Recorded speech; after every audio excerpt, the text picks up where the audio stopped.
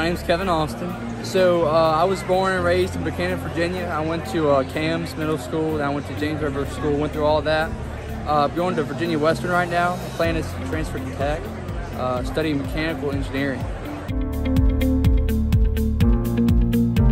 I was, you know, Tesla, they're doing a bunch of, I mean, that's like, that's really cool stuff they're doing over there. I would, like, that would be ideal to be a mechanical engineer for Tesla. I would say the person that's impacted my life the most. Um, outside my immediate family, I guess, my parents, they've obviously impacted me. But um, uh, I'm really active in my church. Uh, my youth pastor, Brad Turner, he, uh, he has uh, shaped the person, a big part of uh, who I am.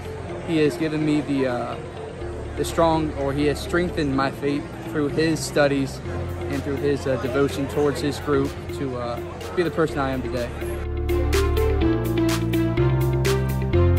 I would just say the community. I lived in Buchanan. Uh, it's a pretty tight community. I, I, know a lot of people from there, and a lot of people know me, or at least someone that I'm related to. So I love that aspect of everybody knows a little bit about everybody, and you can just connect with somebody that you don't really know because they know somebody you know. So yeah, that's my favorite part.